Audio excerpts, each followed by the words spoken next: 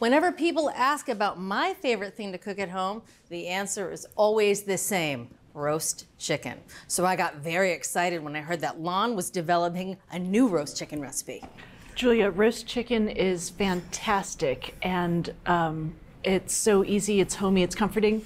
I do feel like people sometimes miss out on the best part of a roast chicken, and that's what we're going to focus on today. Ooh, I know you're curious. I'm really curious. What have I been missing? Before we get to that, let's um, put together a seasoning mix. I'm keeping it really simple here, just salt and pepper. I've got two and a half teaspoons of kosher salt and a half teaspoon of ground black pepper. I just want to stir them together so there's no cross contamination. Now, I've got a four pound chicken here. Before we start cooking, I want to do a little bit of trimming. There's a lot of fat on this bird that we don't really need, so let's get rid of it. The fat in the cavity, you can just kind of pull out with your hands comes right off. It's mm-hmm. nice.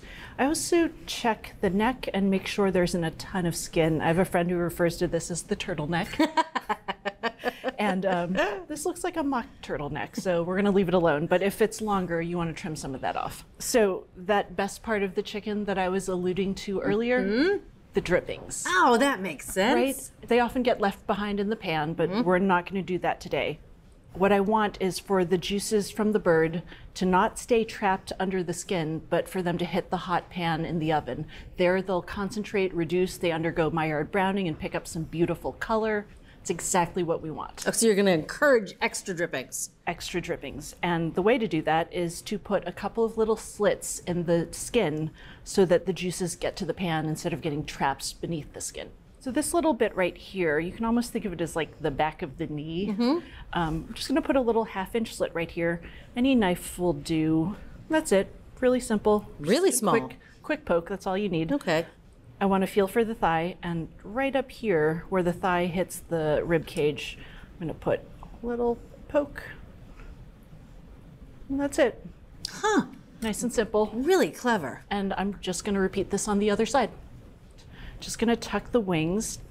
It'll give the bird a little stability and protect them a little bit. And I'm going to use our seasoning mix. A third of that salt and pepper mixture is going to go into the cavity. Great. And now I'm going to brush one tablespoon of melted unsalted butter onto the top and sides of the bird. Um, you often see oil instead of butter, but I think the milk solids in butter encourage browning, gets you a nice burnished color. So that looks pretty good, nice and simple. A little more seasoning. So you're not really doing it on the back side, just the front and the outside of the legs. Yeah, there's not much meat on the back. I want to make sure the thighs are seasoned and the breasts and the wings and the drums. Julia, I've got a half a teaspoon of vegetable oil in a 12 inch skillet and I'm heating it at medium high. Just want this oil to shimmer. I find that a 12 inch skillet is great for a four pound bird. Oil's looking a little wavy. We're mm-hmm. ready. Just gonna pop this bird right in. That's a hot pan. Sure is, and it's hot for a good reason. What's happening right now is we're jump starting the cook for the dark meat. It's going to make sure that the thighs wrap up cooking at the same time as the breast. So we're going to pop this into a 400 degree oven on the middle rack. It'll roast until the breasts hit 150 to 155 degrees. Takes about an hour, maybe an hour and 10 minutes. And halfway through, I'm going to go in and rotate that skillet. Okay, now that's a little lower than the average 160 that we usually roast chicken breasts to. So what's the difference here? So, what we've learned over time is that when you roast a chicken or any cut of meat in a hot oven, it tends to carry over a lot more. And at 400 degrees, I can rely on carryover cooking to take that bird all the way up to 160, which is where I want to serve it at. Sounds good.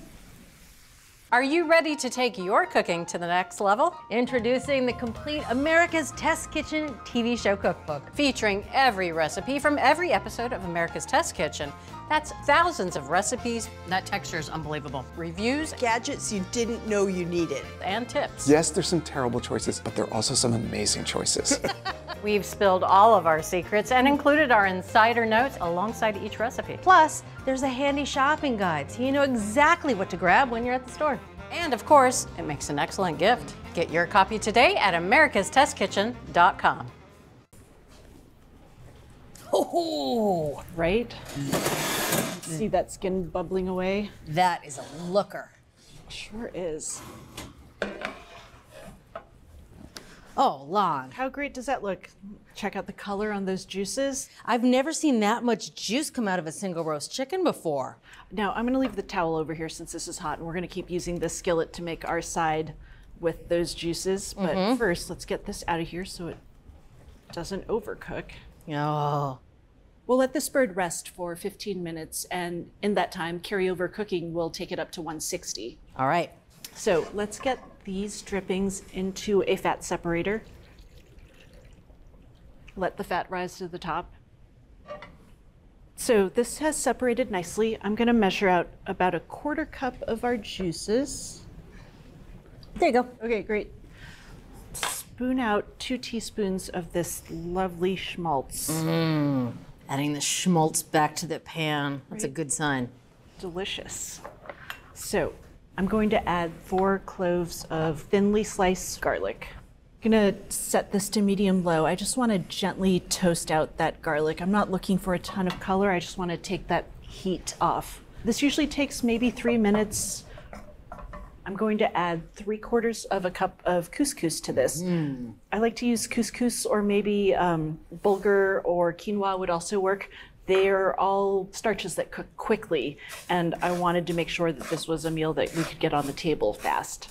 Just a quick stir. All I'm doing here is making sure that the grains are all coated in fat. This will minimize clumping after we add the liquid.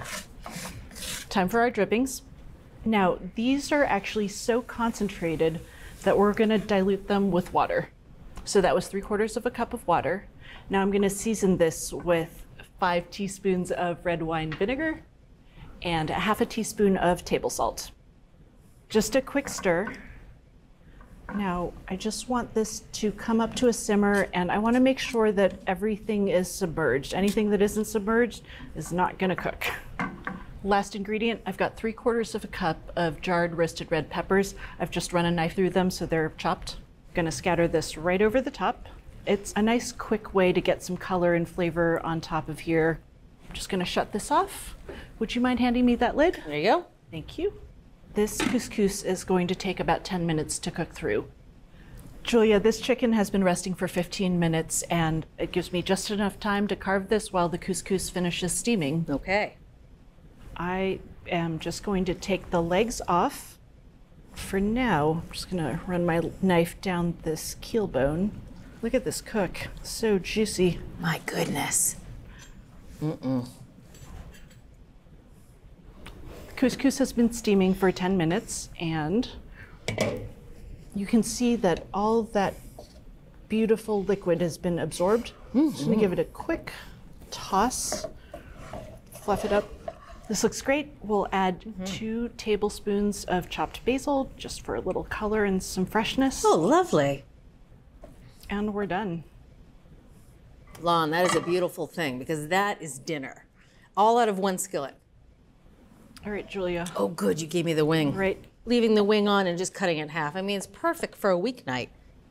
Let's eat. A little spoonful of couscous.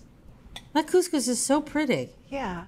It's really quick and simple, but it looks great. Looks like you spent more time on it than you did. It does, actually. First off, I love how crisp the skin is. That nice brown skin on top. That's hard to do. I'm going right in. Great. Yeah. So inviting. Mm. It is perfectly cooked all the way through. The breast is good and juicy.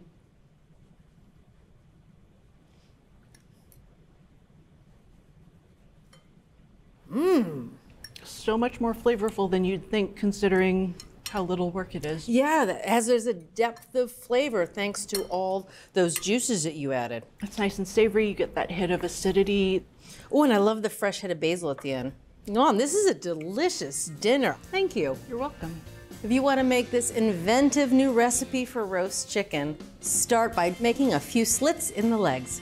Get this skillet ripping hot before adding the chicken, and use the drippings to make a flavorful couscous. From America's Test Kitchen, Lan's all new recipe for roast chicken with couscous, roasted red peppers, and basil. You've updated my home chicken recipe. We hope you enjoyed this video as much as we enjoyed making it. Don't forget to hit that like button and subscribe to our channel.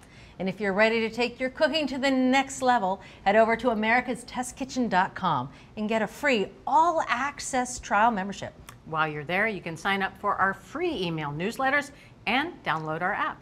With unlimited access to over 14,000 of our test kitchen recipes and 8,000 product reviews, you'll have everything you need to cook and learn. So I ask, what are you waiting for? Let's make something great together.